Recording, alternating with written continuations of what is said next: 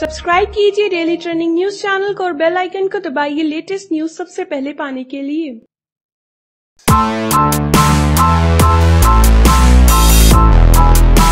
Kings eleven Punjab के Chris Gayle ने रविवार को राजस्थान रॉयल्स के खिलाफ अपने प्रदर्शन से फैंस को हैरान कर दिया।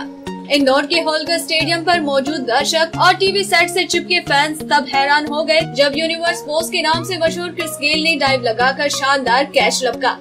आईपीएल 2018 के 38वें मैच में क्रिस गेल ने राजस्थान रॉयल्स के कप्तान आजिक्य रहाने का पॉइंट पर कैच लपका।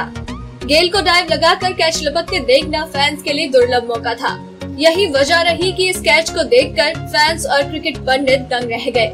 ये वाक्य राजस्थान की पारी के चौथे ओवर का है। अक्षर पटेल द्वारा ओवर की चौथी गेंद पर रहाणे ने कट शॉट खेला। ये गेंद थोड़ी देर हवा में रही। बैकवर्ड पॉइंट पर मुस्तैद गेल ने आगे की तरफ़ डाइव लगाई और शानदार कैच लपक लिया। बता दें कि ये गेंद ज़मीन को छूने ही जा रही थी, कि गेल ने अपनी बड़ी हथेलियों के बीच गेंद को लपक लिया। एम्पायर इस कैच को देखकर उलझन में थे, कहीं गेंद मैदान पर तो नहीं टकराई।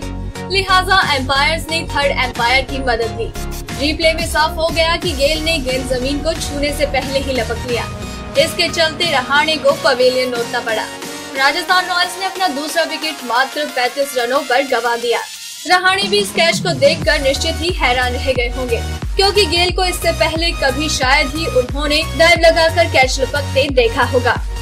अगर आप आईपीएल के फ़ैन हैं और आईपीएल 2018 की टीम्स और उनसे जुड़ी हर ताज़ा और मज़ेदार खबर सबसे पहले पाना चाहते हैं तो जुड़े रहें हमारे साथ, क्योंकि आपको आईपीएल 2018 से जुड़ी हर ताज़ा और मज़ेदार खबर सबसे पहले यहीं मिलेगी। अगर आपको हमारी ये स्टोरी पसंद आई तो इसे लाइक करें और अपने व्यूज़ हमें कमेंट करके ज़रूर बताएँ। डेली ट्रेंडिंग न्यूज़ की रिपोर्ट सब्सक्राइब करें हमारा चैनल ऐसी ही लेटेस्ट और इंटरेस्टिंग न्यूज़ के लिए।